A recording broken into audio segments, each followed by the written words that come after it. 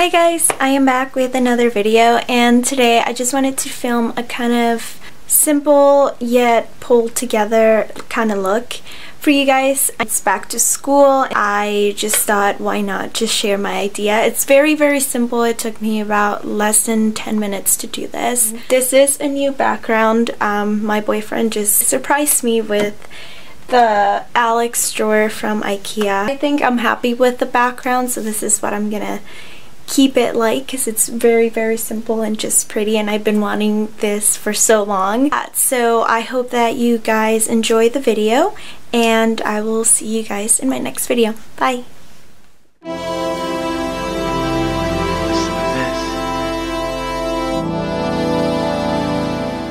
So I'm going to start off by priming my face with the Stay Flawless 15 hour primer from Benefit and I really like this primer. It's perfect for my oily skin and just don't apply it all over the face.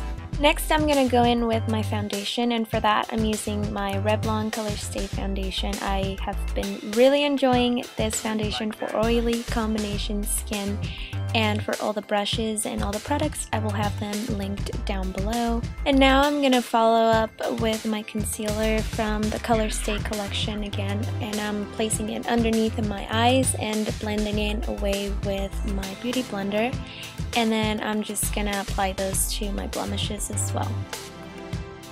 And for a school day, I don't really need that much coverage, so I'm going to set everything with my Dream Powder from Maybelline with a big powder brush.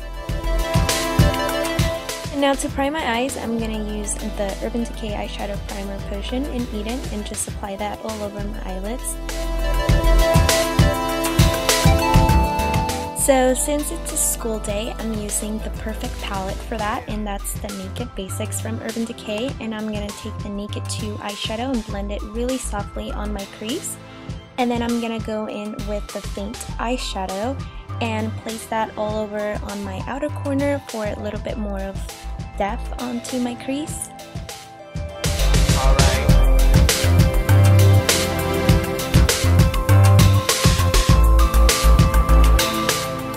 And now I'm going with the Shimmery Frost eyeshadow called Venus and I'm applying that on my brow bone with a flat shader brush. And also apply that same eyeshadow on your inner tear ducts for a more awake look.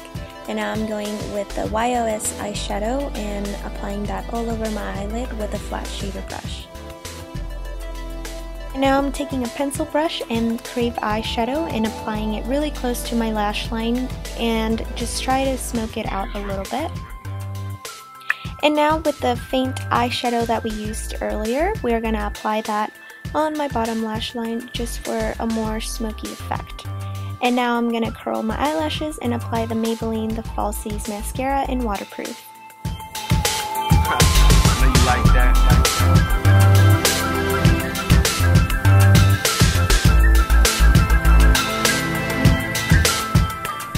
Now for blush, I'm using my BH Cosmetics 10 color blush palette and I'm applying this taupe color all over my cheeks with a blush brush from Sigma.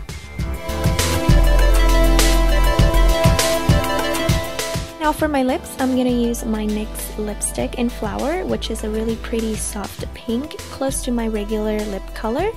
And for my oily skin, I'm going to set it with my NYX Matte Finish spray and that will be it. Thank you guys so much for watching. I hope that you guys enjoyed this tutorial and I will see you guys soon. Bye!